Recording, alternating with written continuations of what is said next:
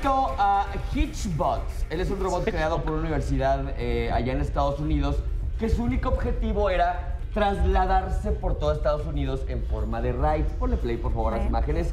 Él es Hitchbots y él es un robotito que tiene un GPS, el cual eh, siempre estaba localizable y pues ahora sí que muy bonito el robot tomaba fotografías en tiempo real para y ahora sí que las publicaba en una página. Ahí está, muy bonito, ¿eh? Nos, nos hacía un guiño en el ojo.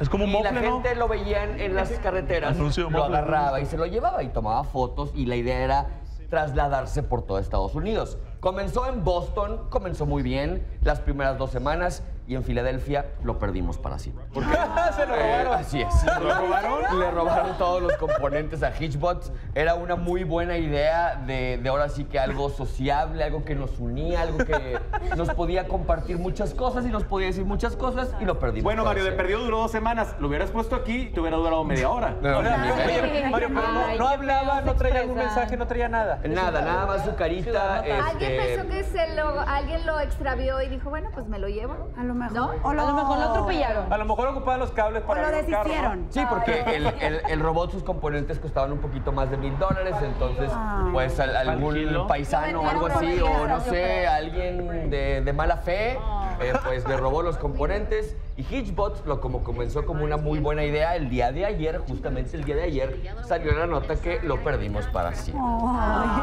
pobre. Así es. Eso? Eso. Dale, dale. Se puede, se puede. Y le ganó otra vez, otra vez, otra vez. Para ayudarle a la pareja. Vamos.